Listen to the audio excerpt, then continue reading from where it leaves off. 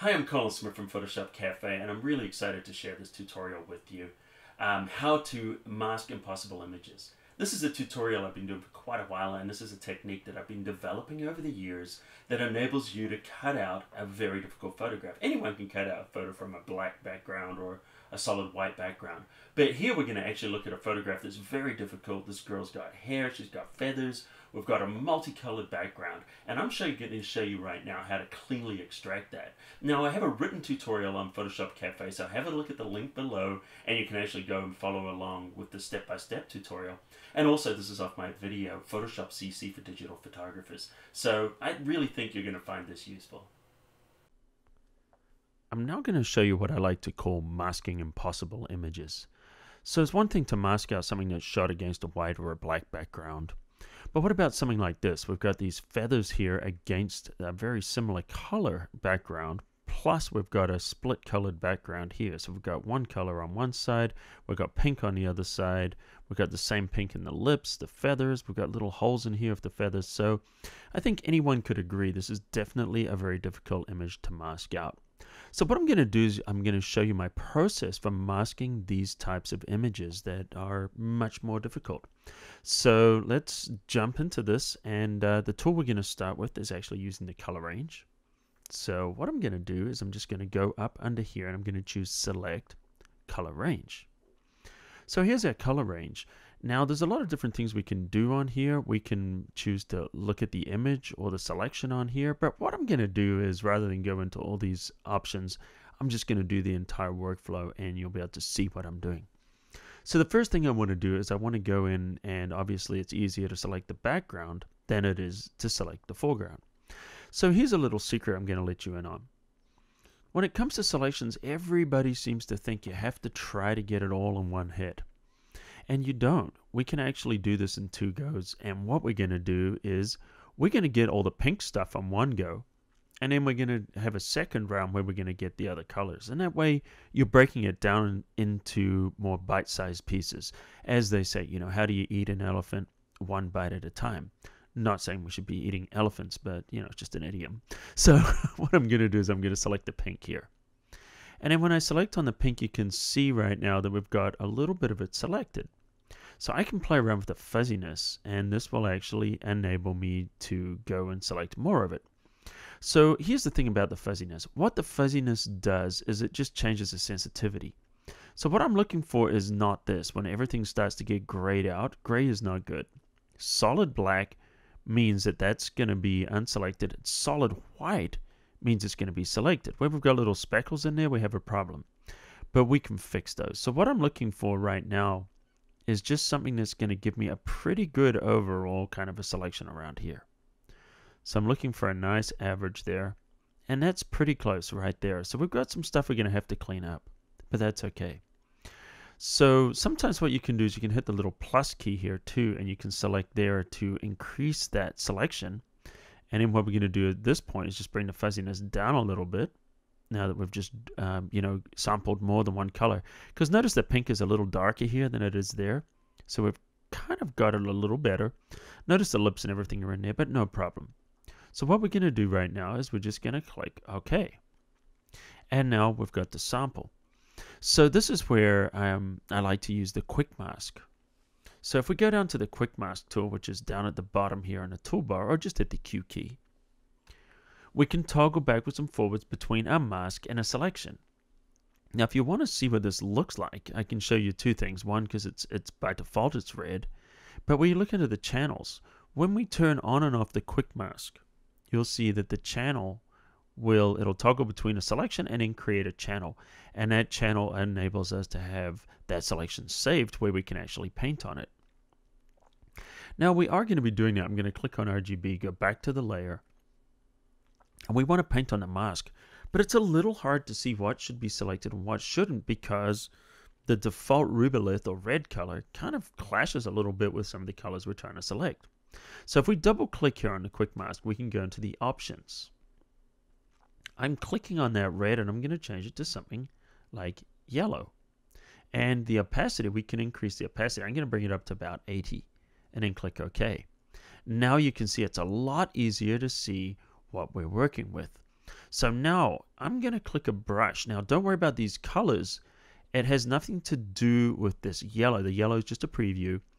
But if I paint with black, it will paint out of that mask. It will add to the masking selection.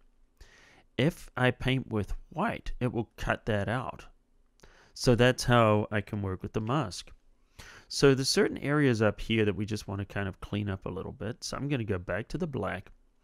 And, uh, you know, I know that if I paint this out, I can clean this up a little bit. But that's a little laborious. I'm going to show you a quicker way of doing that. We're going to go into the channels, turn off the other channels there just by clicking on RGB. Now we go to the back. Now we can clearly see what we've got. So I can paint with this black and just kind of fill some of these very, very solid edges in, and I can see easily what's going on now. So what we're looking for is a nice clean mask here, black and white. Now there's little speckles here in the white and there's little speckles in the black. Let me show you how to do this. What we're going to do is we're going to choke this mask. So I'm going to hit Control L for levels and that would be Command L on Mac. And if you notice on this, we've got pixels here in the black and pixels in the white. So if we go this way, we can actually clean up that black. So I'm just cleaning up some of those little speckles in there. And if you go all the way here, notice you can completely plug it up, but it's also kind of damaging that. So I'm just going to take it back, maybe go in just a little bit, but not too much on that one. Just past that little mountain. We can do some more handwork if we need to. Now this white here, if we pull this in, this will clean up the white. Notice that? It'll take it very, very clean and get rid of all those little speckles from around the edges. And now we're just going to simply click OK. So what we've done now is we've cleaned up this mask. I'm going to grab the black here and I'm just going to quickly go over some of these areas and make sure that I've selected those nicely. And uh, if you get to an area like this and you're wondering if you should select it or not, you hit the RGB here, hide our uh, mask, and we can see what's in those areas. And to me, it looks like those are good areas to keep.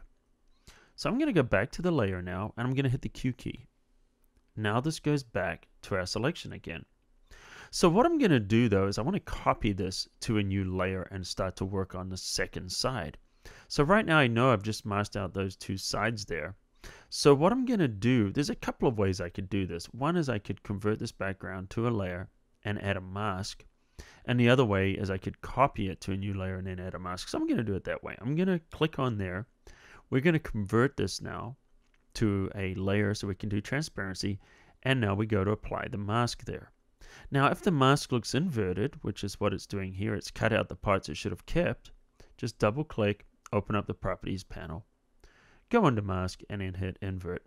And now you'll notice we've nicely cleaned out those little edges there. And this is looking, whoops, I didn't mean to tap on there. That's looking pretty good. Now, if you wanted, you could go into the refine edge, but we're not going to worry about that just yet. What we want to do is continue with this. We want to now make some selections on this side and clean up this side. So we're going to go back again. We're going to choose the select. And this time we're going to go back to the color range again. But we don't have to worry about these because we've already done those. So what we want to do now is select here, but sometimes it's hard to see what you're working with. If that's the case, you can actually just go up here and click up there to select our color. Notice that we've selected that now and we'll bring our fuzziness back down. Hit the little plus and we can grab some of these other colors down here if we like. And notice with the little plus icon, as I'm clicking, I'm adding to that selection there. Now what we want to do is just clean this up with the fuzziness.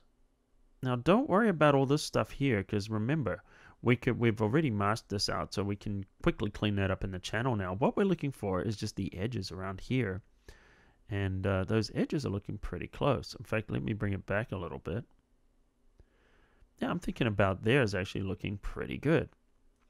So um, if you see you've got stuff like this and these are selected, you can turn on localized color clusters. And then what that will do is we'll actually um, constrain that to this area and we turn the range down. Notice now it kind of constrains it to there, but in this case, we're not going to do that. We're just going to select it and just cut that out. So I'm going to click OK.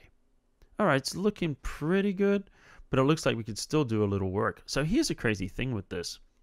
We can mix and match selections. So if I want to hold down the uh, click in here, I can add this uh, quick select tool. I'm just going to undo that. and uh, do a smaller selection there. So if I wanted to just kind of grab a couple of areas in here, I can combine it with these other tools. See that?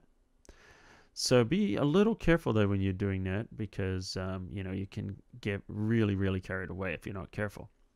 The other thing we can do is we can um, hit the option key with this uh, tool here and I'm just gonna take these areas away from our selection because I know we don't want to select any of those. So we've kind of minimized it to this little bit here where we can go in now and we can refine this the same way we did before. So we're going to hit the Q for quick mask and right there we can see what's going on. I definitely want to add some more density to here so I'm going to grab my uh, brush here and grab my black brush here because remember the black adds. Now um, do we want to add in here or not? Let's have a look. No, we don't. We definitely want to take that out. So you can see we can do that. Now here's another thing. Turn your opacity off. Make sure that's all the way up and also make sure your brush is hard for this kind of masking work because we just want a good clean mask on here. So there we go. And we can do that. So you can see it's getting very, very close. Let's go and check that in the channel. But before we do, we'll just click on the channels actually and there's our quick mask channel right there. So turn that off and we can see. Let's choke this mask. Control L or Command L to just kind of clean this up a little bit. Let's have a look in the shadows. The shadows are actually looking pretty good. I don't know that I need to close these up any, any but the highlights have got a few little speckles and stuff in there that need to be cleaned up. So we'll bring that in. Click OK. Now at this point here, if you have pressure sensitivity, you can change it to size. Otherwise, just make a very small brush and we could just go in here with the white and just clean this up. Notice I'm able to do this very, very fine selection because I'm touching my pen tablet very, very, very gently to the um, to the tablet because I'm I'm using uh, size set to pen pressure. So that's looking pretty good. So I'm going to hit the Q key. We're going to go back again. And uh, it's looking pretty good. So let's go to our layer now. And we've selected these areas and I've grabbed the layer mask. Notice it's blue. If it's not blue, go back in channels. Make sure you select up here, RGB. Make sure everything's on. Select that mask. And notice we've masked out those areas. So all we have to do to hide them now is fill them with black. So right now I've got black as my background color. I'm going to hit the Command or Control key and then hit backspace. Oops, and that would be delete. Let's make sure I hit the right key here and that would be delete on the Mac. And I'm going to hit Control D to turn off the selection. And there we go. We've got a pretty good selection in here of all that stuff. If you noticed on here that maybe these are looking a little jagged, we can undo this. Let's go back. Um, we've still got that. So we've got that selection active now. We can combine this with the um, refine edge. And to do that, with the selection active, all you need to do is just turn on any selection tool and this will re force refine edge to come up. So you're kind of fooling it into thinking you just made a selection with one of those selection tools. Then we can click on refine edge and then you know we can look at this on layers. We can look at it on black and white. Um, you know on on white on black. You can do all these different things here uh, right now you'll see what I'm actually doing is I'm on the mask so let me just cancel out of here. And um, if we grab our layer now, we can hit refine edge. It'll still work the same, but now we can actually see more of um, you know what's happening here. Well, actually, let's go there on the layers. Perfect. So on there, you could actually just play around with your radius there and just try and tweak this a little bit, smoothen it a touch, and maybe even go in there with your refine edge brush and try and clean that up a little bit.